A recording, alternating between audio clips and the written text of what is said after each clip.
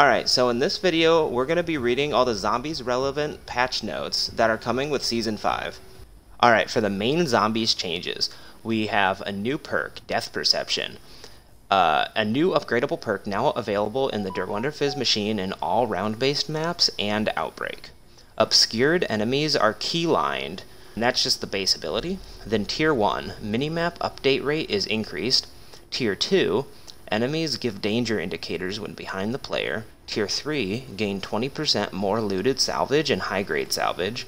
Tier 4 increase armor penetration damage by 25%. I'm not sure if that actually increases the, dam- uh, the damage against the zombie or if it uh, just allows you to break the armor off faster uh, yet, but we'll see.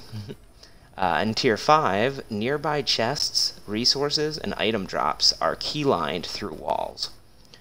Tombstone, players now take 25% less damage in the shadow form, and the cost has been removed entirely from the Tombstone stash, which is really good, honestly. Uh, field upgrades, Tesla Storm, a new field upgrade available on everything. Uh, for 10 seconds, lightning connects to other players, stunning and damaging normal enemies. Tier 1 Double the damage dealt to enemies stunned by Tesla Storm.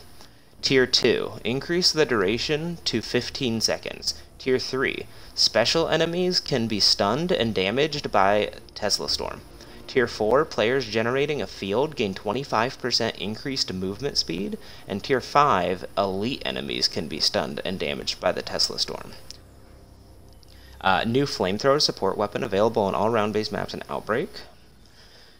Outbreak is getting a new region called Collateral, uh, a new main objective called the uh, Transport Objective, uh, the Tank Vehicle on several of the regions, not all of them, grapple gun equipment uh, added to the crafting table. The Disciple has been added to Outbreak. Uh, new intel and a new gameplay feature called the Omega Helicopter added. Uh, I believe this is a side objective, just like the Crystal objective or the Orda objective, where you'd fight an Omega helicopter, basically. For Mauer der Toten, a couple of hidden surprises have been added. Whatever that means. Uh, the main quest addressed an issue where the boss could become stuck when players quickly moved to the next arena during the main quest boss fight. Closed an exploit that allowed infinitely charging and activating the field upgrade for the canister during the main quest. Uh, it's now limited uh, or capped to 10 activations.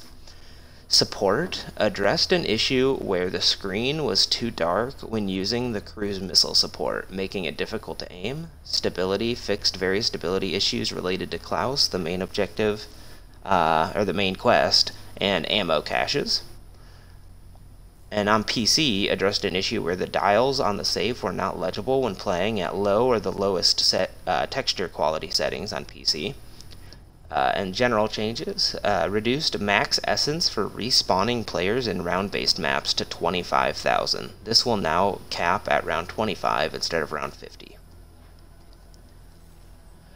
For Dead Ops Arcade 3, we have a new bonus map. They added the Ikari exit bonus map to the wild.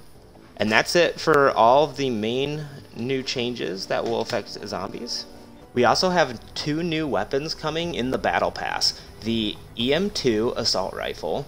The British EM2 full auto assault rifle adds another hard hitting bullpup option to a category already overflowing with versatility.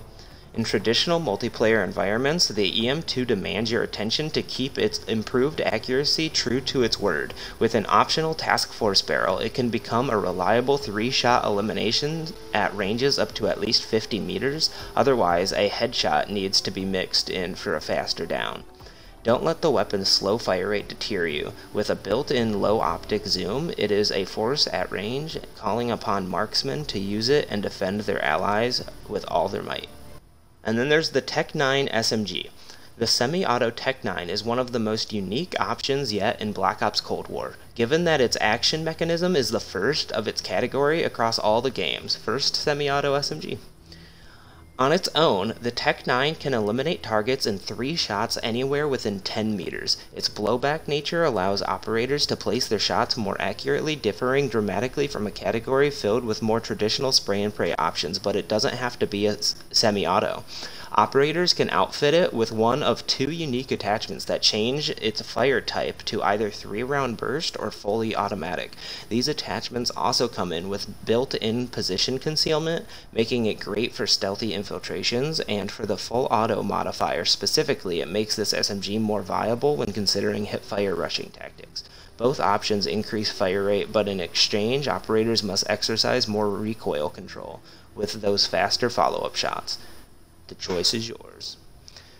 Uh, the FFAR now deals 30 damage out to 12.7 meters for higher damage at short range, increased hipfire accuracy by 14%. Uh, dual wield pistols will now have reduced movement speed by 5% and reduced strafe speed by 5%. So that's it for the update. A lot of changes this time around, and I'm really excited to see what types of things we can do with the new perk field upgrade and the two new weapons being added. And have a great day.